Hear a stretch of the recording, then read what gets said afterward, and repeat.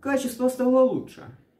Всем привет, дорогие друзья, меня зовут Захар, и недавно я посмотрел несколько довольно-таки хороших аниме-сериалов, и э, эти аниме не особо сильно популярные, про них особо никто не знает, и поэтому я решил сделать такую рубрику под названием «Шоп глянуть».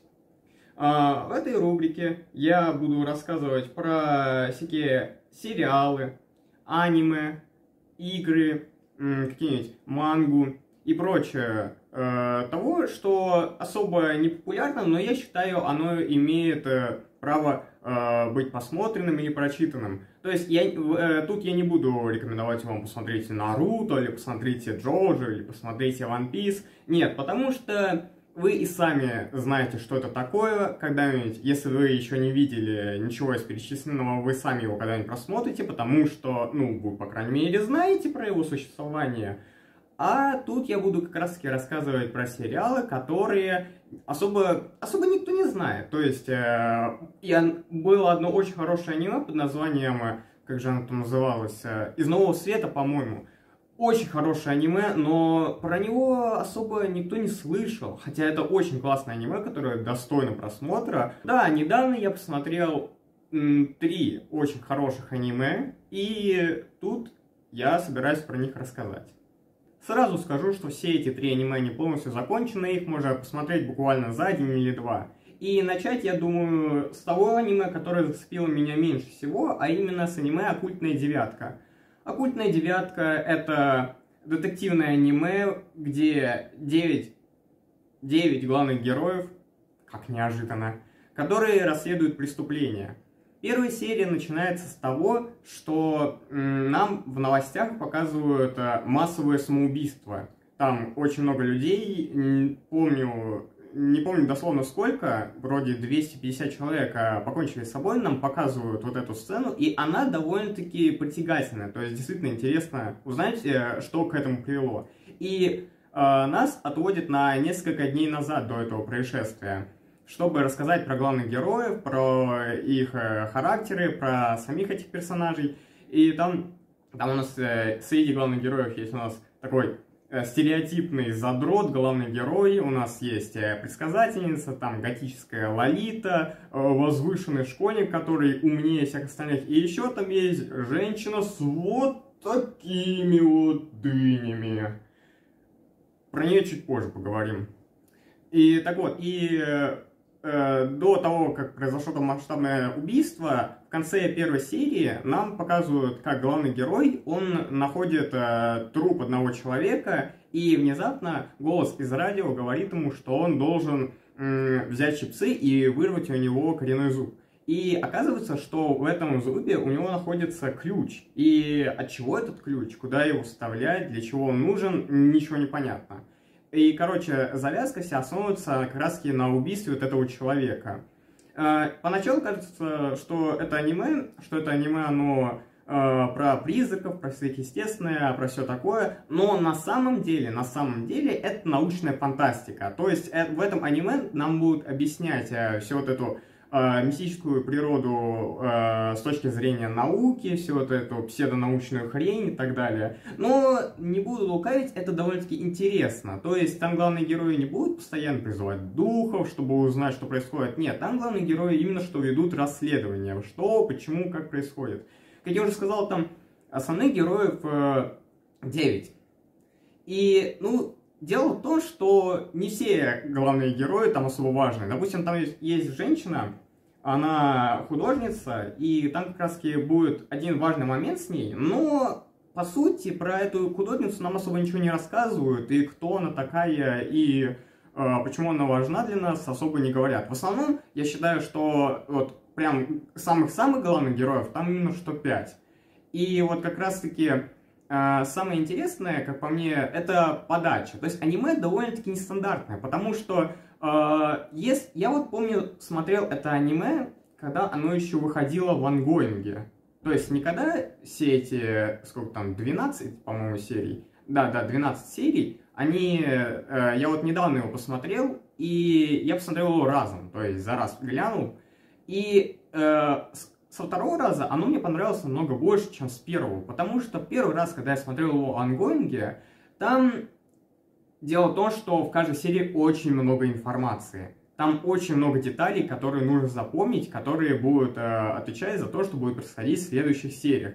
И за неделю все вот эти вещи, там все вот эти мелкие детали, они забываются. И вот ты смотришь этот сериал, и ты не понимаешь ничего, что происходит. И из-за этого складывается небольшой, э, небольшой дискомфорт. То есть, э, смотря Ван Гонги, мне аниме не понравилось. Но пересмотрев его, когда вышли все серии, через какое-то время, мне аниме понравилось. Да, у аниме, конечно, есть свои недостатки, но, по-моему, это аниме довольно-таки интересно и требует внимания. Особенно мне, кстати, нравится стиль аниме, он довольно-таки нестандартный, интересный. Оно довольно яркое, в нем красивые цвета, яркие краски, и анимация довольно-таки приятная.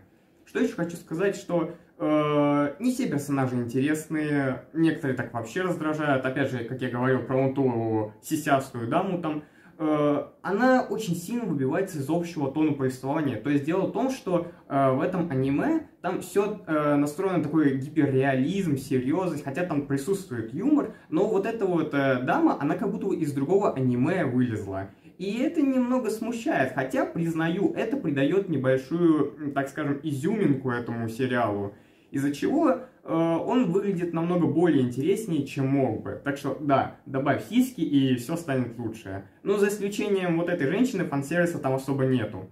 Э, еще что хочу сказать. Аниме довольно-таки странное э, в подаче диалогов. То есть, нет, э, персонажи очень часто говорят экспозициями. Они постоянно объясняют, объясняют, объясняют все и делают это на просто огромной скорости. Иногда даже не успеваешь читать субтитры, если вы смотрите с субтитрами. Я, когда смотрел, я не успел читать, и пришлось ставить на паузу, чтобы понять, что они говорят. Я так понимаю, что э, все это сделали для того, чтобы в хронометраж. То есть 12 серий, но там так много информации, что за 12 серий ее просто невозможно сказать. Поэтому, походу, создатели решили ускорить все диалоги главных героев, чтобы рассказать хоть что-то. Также очень необычная перспектива у сериала, в нем очень довольно-таки много необычных решений. Да и в целом скажу, что сюжет там довольно-таки интересный, но нужно переждать, потому что первая серия, она хоть цепляющая, но поначалу тебе нужно немного привыкнуть ко всей этой обстановке, к персонажам и прочим деталям.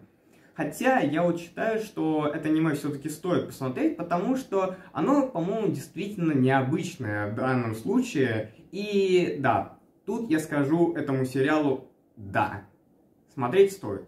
Второе аниме называется «Бокурану», ну или же «Наша», если по-русски. Аниме рассказывает про группу школьников, которые отправились учиться в летнюю школу, и вот на последний день был. И на последний день они решили отправиться на пляж, чтобы провести его на все сто, и там они решают зайти в пещеру.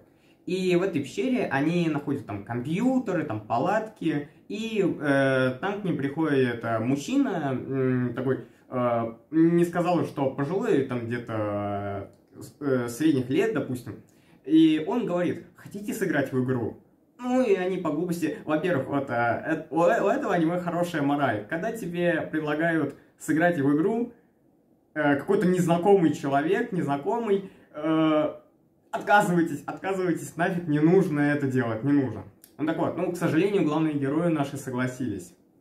И так вот, и после того, как они согласились, их телепортируют внутрь огромного робота.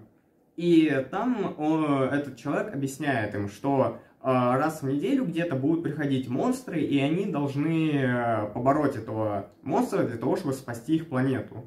Если они этого не сделают, то их планета просто бамс и все. И как раз таки вот э, там суть в том, что этого робота должны пилотировать эти дети, и их вроде 15, 15 главных героев основных, и они должны управлять этим роботом по очереди. То есть каждую неделю новый ребенок должен управлять. И вот э, наступает очередь первого ребенка, они побеждают этого робота, и после этого э, парень, который управлял этим роботом, он умирает. И вот суть в том, что чтобы управлять роботом, ты должен отдать свою жизнь. Он работает на жизненной энергии. И это аниме, оно о том, что дети должны, по сути, смириться с тем, что они должны умереть э, для того, чтобы защитить свою планету. То есть, знаете, как обычно всяких э, блокбастерах, мы обычно болеем за главного героя, чтобы он победил. Ну, так вот, тут суть-то вообще не в этом. Мы, конечно, болеем за главных героев, но у нас нету радости победы, потому что после того, как они победят э, монстра, кто-то из них умрет. Вот э, это, это жестко очень. Я хочу сказать про то, что э, раньше я такого нигде не видел, что вот мне действительно было тяжело смотреть это аниме, но в то же время очень интересно. Я буквально э, смотрел это аниме в ожидании того, кто, кто будет следующим ребенком, кому выпадет эта ноша. И э, тут как раз таки стоит вопрос о том, что это аниме не про гигантских роботов, оно про людей.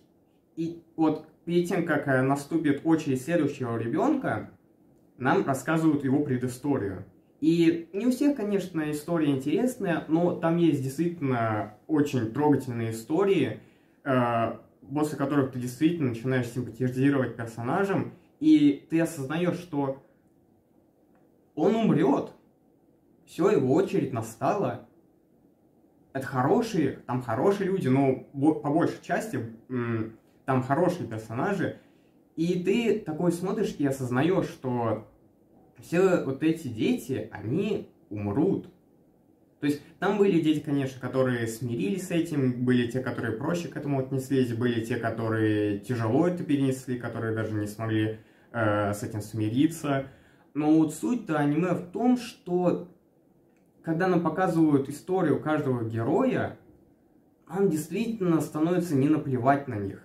Плюс ко всему в аниме действительно есть какая-то интрига. То есть на, там есть персонаж довольно-таки э, жуткий, не очень приятный, э, огромная летающая голова, и он постоянно это объясняет, постепенно, постепенно объясняет, в чем суть всего вот этого сражения, почему они должны сражаться, и все в таком духе. И как раз вот этот персонаж, он основополагатель того, э, какой будет сюжет в сериале. То есть он постепенно рассказывает детали сюжета, почему там это происходит и так далее.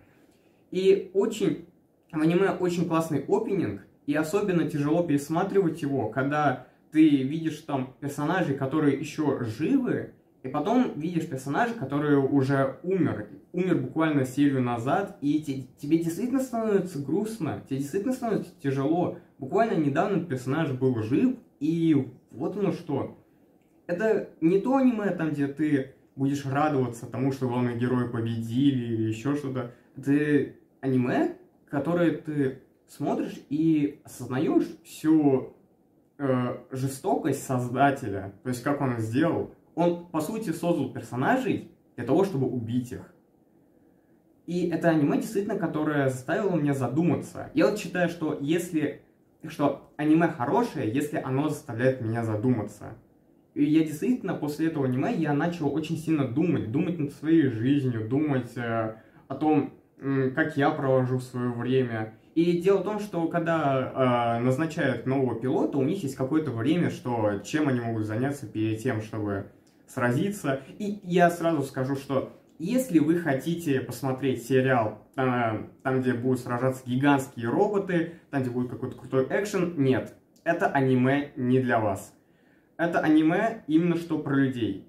Там главное не бои роботов, а именно что истории персонажей. Бои роботов там очень короткие, и не сказал бы, что они сверхкрутые. Если уж вы хотите посмотреть на экшен, то посмотрите Тихоокеанский рубеж, например. Если вы любите Евангелион, то я рекомендую вам это аниме, потому что это один из тех случаев, там, где главное именно что э, не экшен, а именно что сюжет и персонажи. И, как по мне, в этом случае аниме э, вот на, на все сто процентов. Да, там, конечно, бывает иногда скучные арки, немного иногда зависает и провисает сюжет, но в целом я с интересом посмотрел все 25 серий, и я очень вам рекомендую. Э, также там есть манга. Манга, она идет не по аниме. Я мангу не читал, но, может быть, когда-нибудь ее прочитаю. Когда, когда я уже позабуду то, что было в сериале, чтобы напомнить себе, поплакать. А, да, в последнее время аниме начинает доводить меня до слез. И, и мне это нравится. Мне нравится, когда аниме заставляет меня думать, реветь, э, бомбить. Я тоже люблю смотреть аниме, которые заставляют меня бомбить, потому что это вызывает хоть какие-то эмоции. Это намного лучше, чем аниме, которые ничего не вызывают. Так что да, если вы цените э, в сериалах что-то помимо экшена и драк, то Боку Рану это выбор для вас.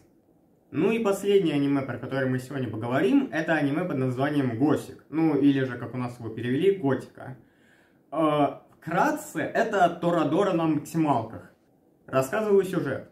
Это аниме про девушку по имени Викторика, которая была незаконно рожденной. И э, там был граф, который похитил ее мать э, и принудил родить от него ребенка. И она родилась невероятно умной. Она родилась э, очень умной. И вот этот граф, он как раз-таки планировал ее использовать для своих корыстных целей. То есть ее растили там где-то в подземелье. И когда ей там исполнилось сколько там, 16 лет, по-моему, ее отправили Э, в английскую школу учиться.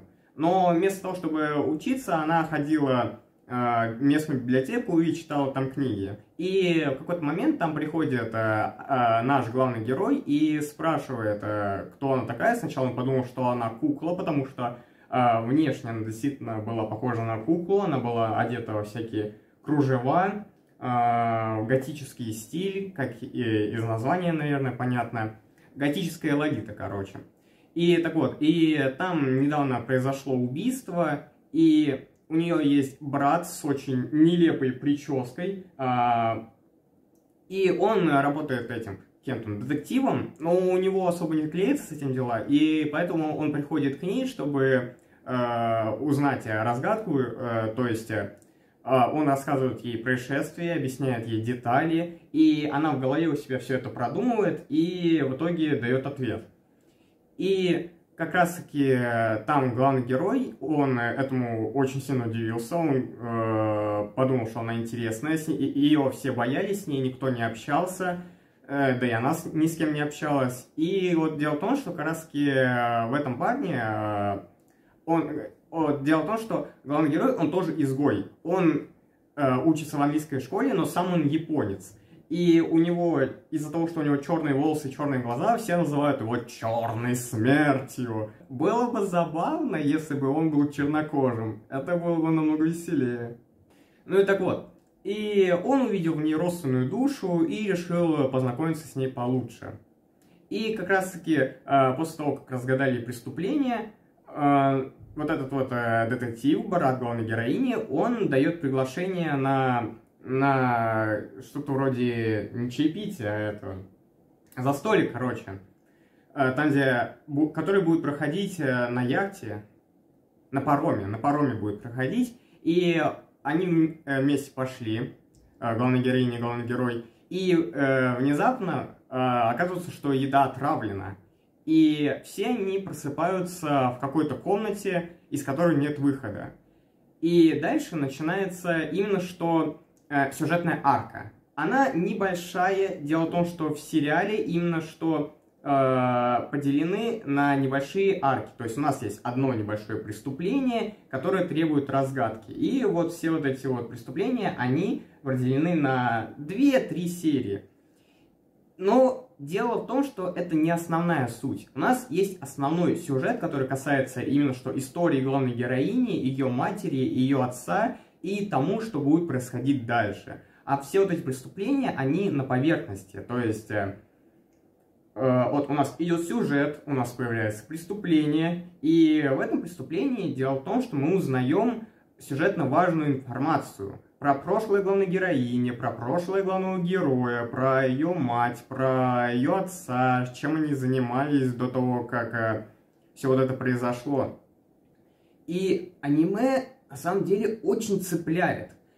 Но не благодаря детективу. У этого аниме у него несколько жанров. Это детектив, а, романтика, драма, ну и, комедия. А, и вот детектив это, наверное, самое скучное, что есть в этом аниме. Все разгадки, все вот эти истории, которые были показаны в сериале, они щелкаются как орешки.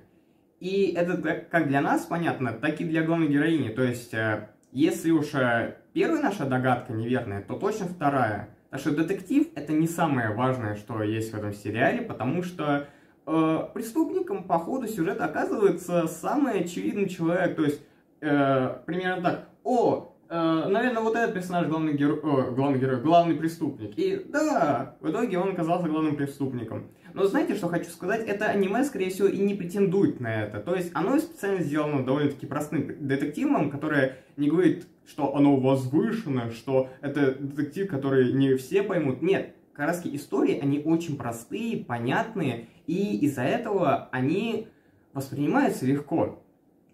Но и дело в том, что ты воспринимаешь все вот это не из самих историй, которые там происходят, а из-за взаимоотношений главных героев.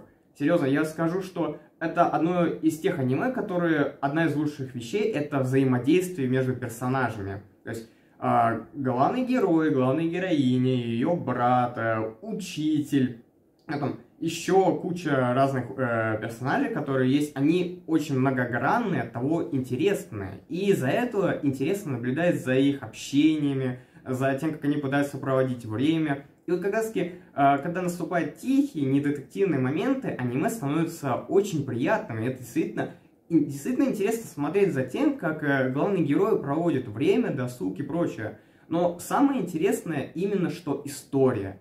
Аниме цепляет как раз таки основной идеей вот, цельного сюжета, того, который там был представлен. В каждой вот этой вот маленькой детективной истории есть маленький пазл, который начинает складываться. И вот как у главной героини, как у нее происходит вот это вот э, супер мышление, она складывает пазл за пазлом, так и у зрителя, который смотрит этот сериал, он начинает складывать пазл за пазлом, и у него выстраивается одна цельная, интересная, даже мрачная история о том, э, как разделялась главная героиня, о том, какая ей была уготовлена судьба, как вообще все происходило там. Это действительно очень интересно, я даже не могу передать словами. То есть, поначалу аниме не претендует на что-то особенное, но с каждым разом аниме становится интереснее и интереснее, серии за серией. Я это аниме посмотрел за два дня, и вот последняя серия это просто... Ох! Так что, да, если вы хотите посмотреть какой-то действительно интересный детектив, где непонятно, кто преступник и все такое, то это не для вас аниме, это аниме именно в первую очередь из-за истории интересно смотреть, то есть как там все выставлено. Вот, допустим, там была сюжетная арка про алхимика, типа алхимика, и э, кажется, что эта арка особо ничего не значит, то есть что она нужна просто для того, чтобы запомнить время, но в итоге окажется, что она на самом деле была довольно-таки важной в будущем. И от этого ты такой смотришь, что, а, ну да, в целом интересная арка, но когда уже понимаешь, что она имела значимость, ты начинаешь, блин, а ведь это классно. А, также хочу сказать про саму Викторику. Ой, Викторика, она просто прелесть. А знаете, я не люблю Цундера, но по ходу кажется, что нужно сделать просто всех Цундера Лоли, и тогда они мне понравятся. Вот как раз таки, я не люблю Аску, я не люблю Рин, но мне нравится Рин Лоли. Мне нравится маленькая Рин, не знаю. Мне кажется, что если уж э, персонаж наглый, то у него должен быть какой-то недостаток. И вот как раз низкий рост этому того соответствует. Кстати, поэтому я очень люблю Тайгу из Торадоры. Также еще хочу сказать, что аниме довольно-таки красивое. То есть там фоны, рисовка, она очень приятная, и ты смотришь, и тебе нравится, там очень яркие цвета, очень плавные движений героев. Особенно мне нравится там, где в библиотеке. Библиотека вообще очень красивая. И опенинг там довольно-таки стильный. Так что да, если уж вы хотите посмотреть действительно интересную именно что историю, историю, э, романтическую историю, если уж вас не тошнит от э, романтики и чувств, то это аниме для вас. Да и тем более, помимо драмы, трагедии и романтики, там еще довольно-таки много жестоких сцен есть. Все-таки детектив. И детектив, да, довольно-таки мясной и кровавый. Э, кровь, кишки там присутствуют. Да и экшен там тоже довольно-таки хороший присутствует, и он есть там. И, но это не главное в аниме, главное именно что персонажи и история в данном случае. Да и пусть я и сказал, что в аниме не особо интересный детектив, но сами истории, вот то есть э, вот эти вот э, сами преступления, они по-своему интересные. А еще также очень интересно именно, что мотив убийства, то есть э, а это действительно интересно, пусть и понятно, вот лично, ну, лично мне было не во всех, не во всех арках было понятно, кто убийца. И вот, кстати, арки, там, где непонятно было, что происходит, как раз одни из самых интересных. По мне, вот не знаю, было ли так задумано изначально, но дело в том, что аниме дает очень много подсказок. То есть э, оно делает акценты на определенных вещах, которые помогают составить картину из пазла. И в какой-то момент, знаете, я посчитал себя действительно детективом.